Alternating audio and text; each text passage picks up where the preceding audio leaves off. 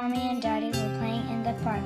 We started playing hide and seek I went to hide behind the rock with the highest peak, and then a strange man came and started to speak.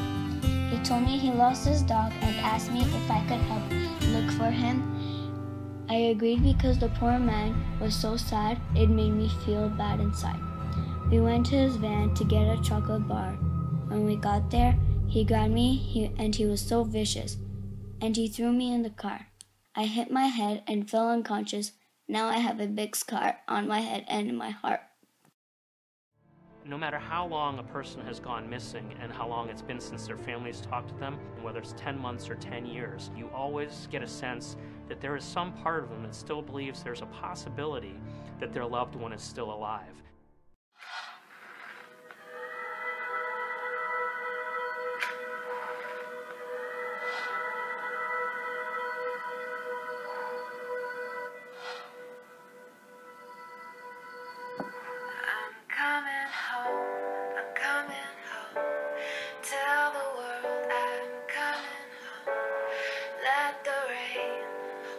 wash away all the